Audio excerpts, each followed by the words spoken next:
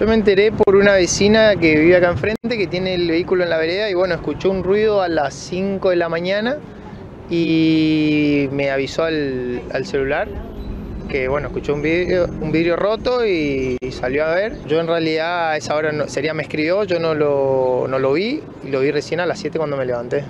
Y ahí me vine para acá. ¿Tienen alarmas? Eh, ¿Cómo se enteró la vecina?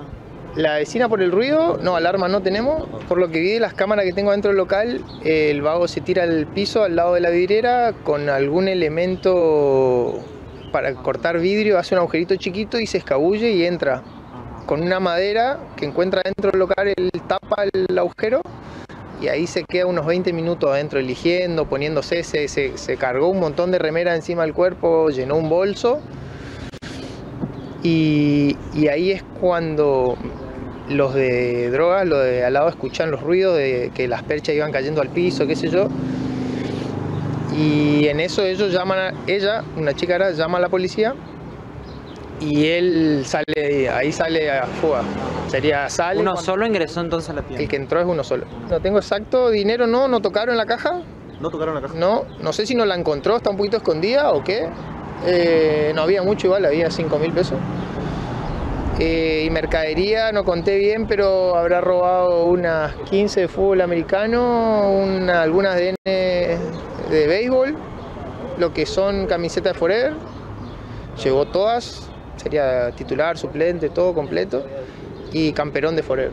Y me dijo la chica que escuchó ese ruido de las perchas cuando empezaron acá al piso y ella sale y ahí ve el vidrio roto y lo, y lo como que lo ve al chico adentro por el vidrio y ahí entra a llamar a la policía y en eso él escapa. Yo creo que la vecina de enfrente escuchó cuando él se da la fuga que ahí rompe todo el vidrio para salir rápido en realidad.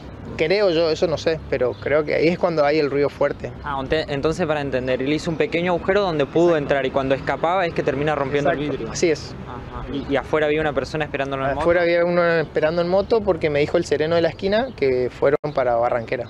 ¿Y ahora qué le dijo la policía? ¿Están trabajando aquí en el lugar? Y sí, vino a investigaciones, llevó los videos, dice que lo van a bajar en, en buena calidad y, bueno, nada, harán su trabajo, no sé. ¿Hace cuánto tiempo están acá, Luciano, en este lugar? Y nosotros, ocho años por lo menos. Por ahora voy a pensar en el local nomás, le voy a meter reja, le voy a meter nada, cosas. ¿La primera vez, Luciano, que un robo? Sí, acá, así, acá sí. Una vez entraron, entró uno cuando estaba el local abierto, que lo agredió al, al chico que está así, pero eso fue hace como cinco años. Pero con el local cerrado la primera vez. Bueno, ¿cuánto- ¿cuántos trabajan acá en el lugar? Yo y un primo mío que me ayuda, dos. ¿Emprendimiento familiar? ¿Cómo nació esto? Sí, sí, familiar.